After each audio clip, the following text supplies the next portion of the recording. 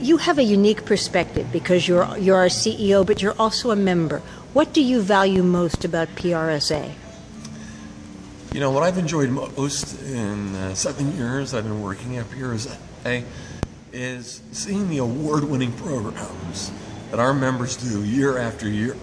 When we recognize them during our Silver Anvil evening, I'm touched deep inside to see the work done by PR people who so often work behind the scenes on health issues, on all kinds of safety issues, on issues that touch our society every single day.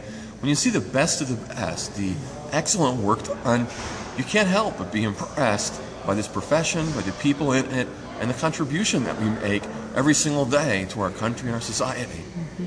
And for those who maybe aren't as familiar with PRSA as we wish they were, what do you most wish that they knew about the organization? We are a large organization and then we represent a very diverse profession. Diverse sense that we have people from all walks of life, all backgrounds, working in PRSA and PR. What's really best about PRSA is that no matter where you come from, whether you're in an agency, a corporation, government, we've got something here for you to help support your career. Whatever your career goals are, we can help make them possible.